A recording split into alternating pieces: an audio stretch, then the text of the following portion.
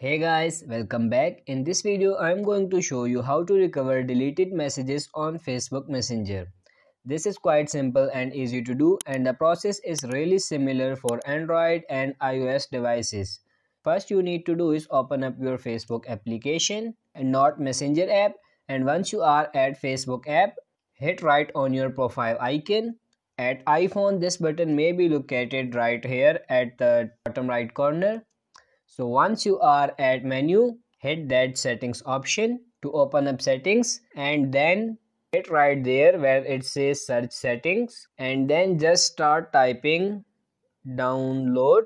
It shows you up just one single download profile information feature.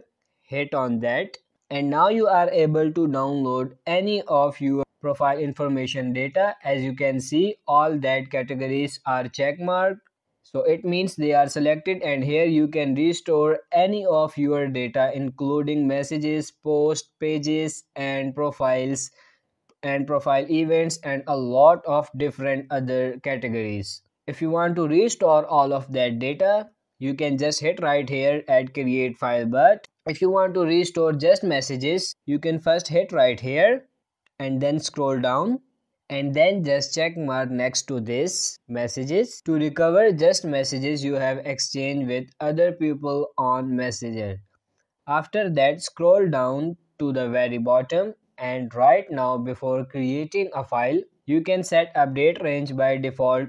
All of my data is selected. You can hit right there. And by hitting date range there you can set some specific period of time. You can hit add start date and change it in that way. Also you can set app and date. I'll select all of my data and after that you can switch format. You can switch between html and json and also here you are able to select media quality. By default is set to high. You can hit right there and switch it into medium or low. And once you are ready you can hit right here at create file. And after that it says that it says that a copy of your information is being created. Your copy may contain more than one file depending on how much information your request contains will let you know when your copy is complete so you can download it into your preferred device. So as you can see file creation is requested and the current status is pending. When the file will be ready to downloading here you will find download file button you can tap on that button and download zip file to your files at your device and then you can unzip that file at your iPhone device using files app and also you can transfer that file to your PC or laptop and unzip it here.